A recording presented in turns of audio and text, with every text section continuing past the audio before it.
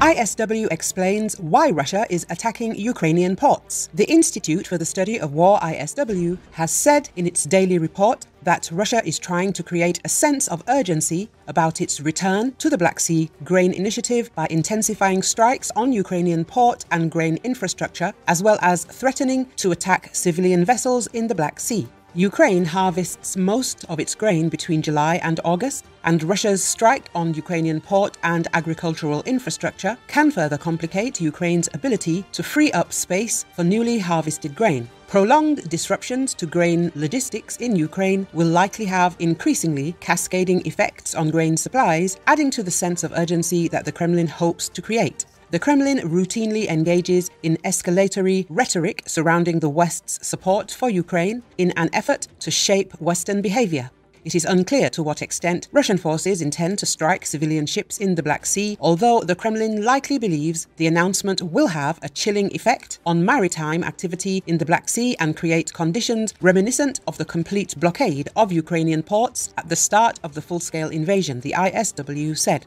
The ISW believes that the attempt to obtain economic concessions from the West could have an undermining effect on the Kremlin's international efforts, jeopardizing food supplies to several countries that are targeted by the Kremlin. Russian strikes against Ukrainian port and grain infrastructure and naval posturing also continue to illustrate that the Kremlin is willing to use naval and precision strike assets to prioritize immediate economic concerns instead of operations in Ukraine, the ISW added.